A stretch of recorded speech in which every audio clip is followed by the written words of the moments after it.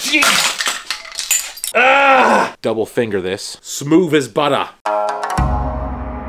Hello, everyone. Today is going to be epic because oh wait wait no that's somebody else says that I think right. Uh, what do I usually say? Um, I don't know what, what do I say. Okay, it's about to go down because I just got a brand new bike. So obviously, in the box is clearly a Specialized, but the type of Specialized that it is, I'm gonna keep secret and let you guys find out as we start to disassemble this thing. It's one of the coolest bikes, in my opinion, that they currently offer. It's got one of the coolest specs on it, one of the nicest specs as far as the build kit goes, and one of the coolest color schemes offered from any of the bikes. So I'm really, really stoked to get this thing. I've never ridden one before. This is gonna be my first time ever having this particular bike and also ever riding it once it's all built up. So that'll be really, really interesting. Uh, it's gonna be it's gonna be a wild one, and I've got some new parts that I'm gonna kind of swap some stuff out as I'm building it up. So I'm gonna make it big boy approved. So I got that going for this build. But other than that, let's get this thing apart. Let's start building it. But first, little soda, little little bike building soda. Yes, cheers. All right, let's get this going. Let's see. Do you have any ideas yet? Honestly, probably the thumbnail probably shows exactly what bike it is. So I don't even know why I'm keeping it secret. So, I'm gonna pull it out. Oh wait, one sec, the seat's caught. Oh. You guys ready for this? Whoa. you know what it is yet?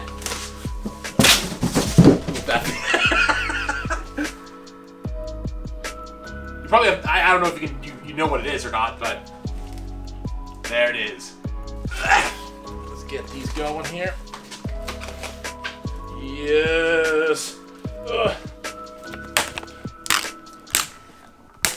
On.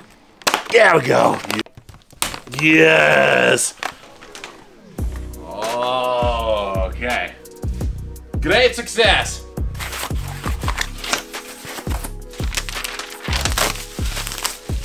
Off of there. Starting to be able to see more and more. Oh. Kashima coated Fox Factory 36. Yeah, I did, I did double check. 36. I have never had one of these forks ever before. Wow. I feel lightheaded. It's it's it's it doesn't feel real. This is so cool. All right, so I've got some new bars that I'm gonna be putting on this. So I'm gonna take off the bars that are currently on here. I also have some new grips. Spare tool here. Oh God, I just hit the frame. Oh no. Okay, I need to be very careful here. Oh Jesus, they hit the Kashima. Oh, there we go. Oh, you're free. It always puts so much stress on me when this thing is, is bent over. I know it's not gonna do anything, but it still makes me super nervous to see that. So up front, the bike comes stocked with a Deity Copperhead stem. This is the 50 mil size. I might try the 35 mil size. We'll give this a go for now. But obviously, with a Deity stem, it can only be paired with one thing, and that's Deity bars. Right here, I've got the Highside 50 mil rise bars. These are my favorite bars right now. They're awesome. And I got them in the sick bronze color to match the bronze paint job on here and the Kashima. Look at that. Look how perfect that matches. So I'm gonna get these things on here, have a good little rise to them. It's gonna be freaking dialed. Okay. Oh. Okay. Oh. The bike comes with this piece right here. And essentially what it is is like some kind of, I, I, don't know, a washer or a fitting, uh, some kind of fitting. But but basically what it does is it sits right here. Now you can see there's already one in there that comes stock on the bike. That's at a neutral headset angle. This additional piece the bike comes with, you can see has a negative one degree and a positive one degree. So that can literally, the bike literally has three different head tube angles you can set it at. One, de or one degree forward, neutral, or one degree back, which is super, super nice. So I'm gonna swap it out, set it as, as slack as it can possibly go so that it's gonna be all the way back, and that should be money. I haven't even had the bike for like 10 minutes, and I'm already completely messing with it. Oh, jeez. Uh. Oh no. This thing hasn't even been on a ride yet, and I'm already destroying it. Other than a little little scuff right there. It's dialed. It's totally fine, I think. Double finger this. Yeah, look at that. Smooth as butter. Watch this. This is my finger. Boom! Popped right out, just like that. There's the old one, the new one, and I'm gonna do something probably shouldn't do. I'm gonna grab the grease from the old one and just stick it on the new one. Ah. I'm pretty sure most shops have like a tool for this. Now, I'm gonna not drop the fork this time. Ooh, nice bearings, brand new bearings. Ah. Ah.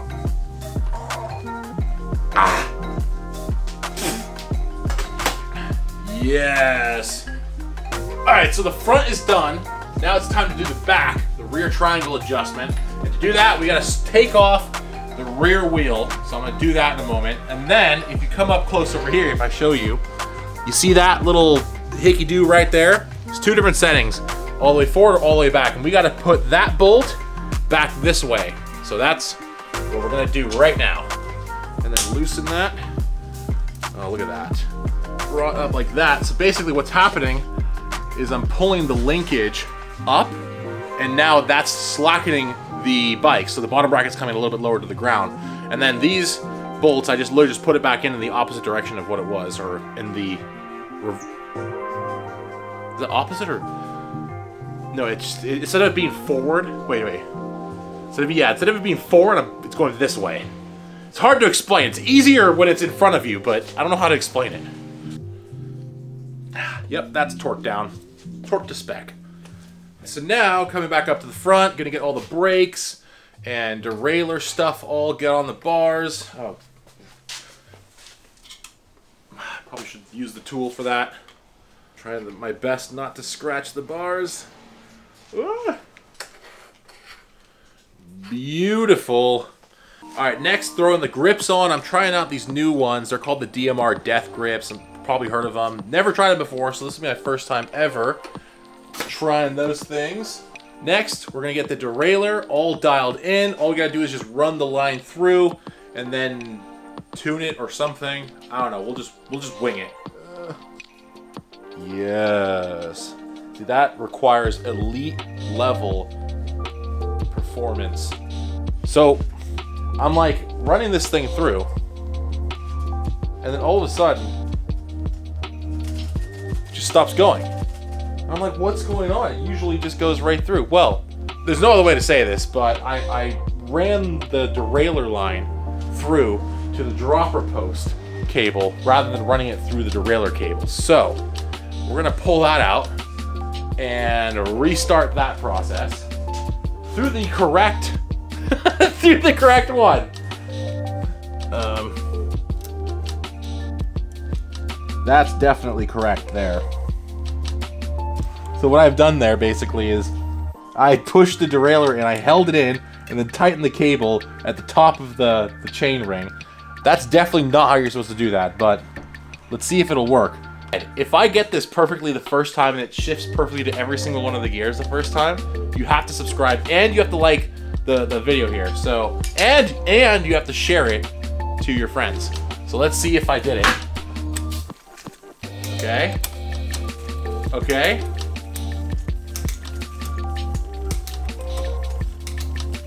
No way. No way, dude. I mean, that's pretty much like 99% there. Go subscribe, go like, go share to a friend. So now the wheel's coming back off because arguably, no, I'm not even arguing, no, unarguably the most important task on this bike to do is to finally install the Cushcore. Watch this. Totally normal rim. No tire irons, just my bare hands. Look at that. Get some. I don't need tools around here. Who do you, who do you think I am? Who do you think I am? Throw one of the fresh Cushcore valves in there. All right, gonna get brand new tire.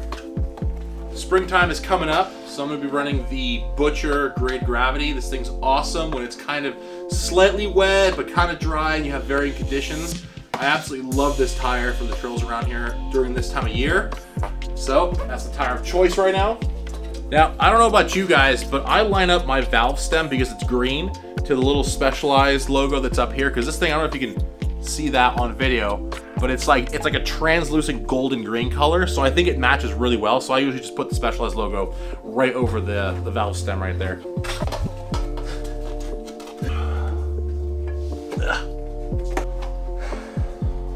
Beautiful. Let's get some sealant in here. Know, one of the things that cracks me up about the sealant, so Specialized sells the tubeless sealant, and one of the things that's hilarious about it is, look, at it comes in something that looks like a water bottle, but in order for people, like this, this tells you the state of our world right now. Look at what it's, look at what they have to put. Do not drink, right on the bottle. It's like, of course, don't drink this. but I should be able to just get it on, on a brand new rim, brand new sealant, brand new Cushcore, brand new tire, and no tools. So Cushcore is not that hard to install, but let's see if I can do it with no tools. I do it all the time. So we get the last little bit of a bead there, right? Let's see if I can do it. Pop that in. Am I gonna do it? Did I just do it? I did indeed just do Cushcore no tools whatsoever. Boom. Ah! I just realized something. Tire's on the wrong way. Ah! Alright, no problem. I'll just switch it out and then do the front tire. And then when I clap my hands, it'll all be done. Alright, tires are done. They're on. They're both facing the correct direction. So that's good. Cushcore is in. Sealant done. It's all good to go. So it's still winter here in California, which means the mud fender is absolutely necessary. So I'm just gonna stick that bad boy on there. So this is definitely the correct tool for this. Yes. Yeah. That's definitely how you do that. Oh. Oh. I gotta stop hitting the bike. I think that's how you install that. Wing it and find out. All right, dialed.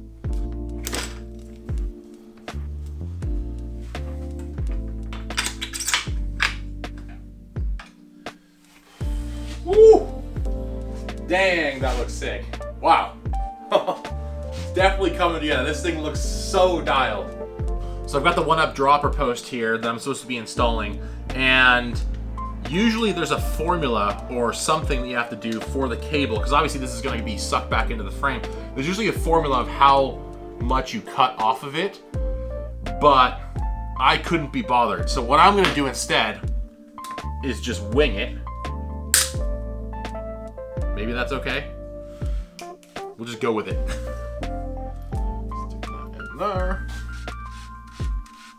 Quite literally perfect. You see, you guys think about things too much. Just sometimes you just gotta wing it and it works out perfectly.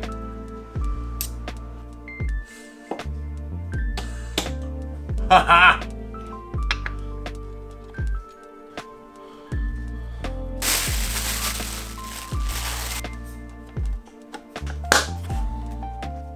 it's done.